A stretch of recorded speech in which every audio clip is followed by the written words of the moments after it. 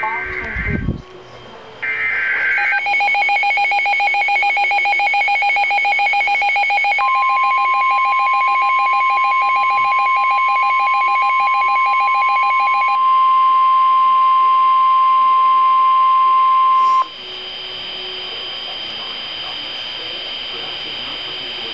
National Weather Service in Chicago has issued a severe thunderstorm warning for County in northeast Illinois, southern Kane County in northeast Illinois until 7:30 p.m.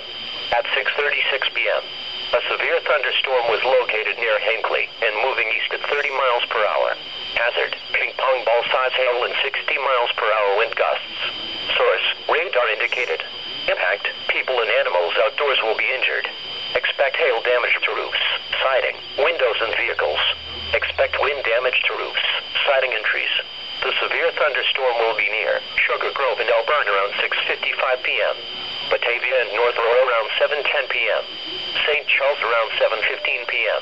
West Chicago and DuPage Airport around 7:20 p.m. Warrenville and Naperville around 7:25 p.m. Winfield around 7:30 p.m.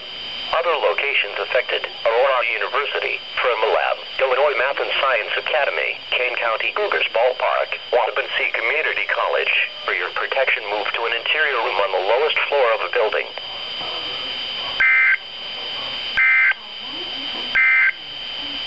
The following is a